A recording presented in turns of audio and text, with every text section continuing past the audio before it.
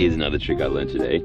When you have a piece of rope and you want to end it, tie a knot basically and you untie it really quickly. Watch this. So the knot ends like here. All you do is do your loop and like put the thing through like that. And that's it. Now, now, the real trick is how you clip it.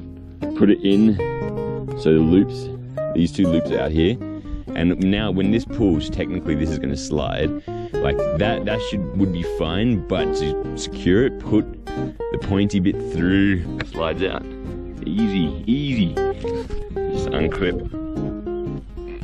Uh, undo it from that loop, undo it from around there, and then and very. To like around about here, around about here. You just do a little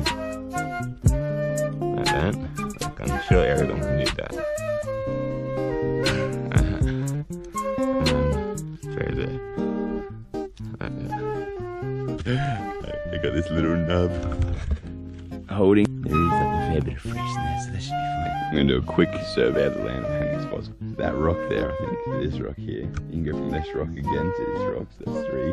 That rock to that rock, that's four. Not even using that tree. These rocks, potential, would be a little bit difficult. Now coming over this way, you've got this tree here, this tree over there. And then you got the tree and the rock here, this rock and this rock. In this small area, you could get like nine or so hammocks up. And there's like three trees you'd use.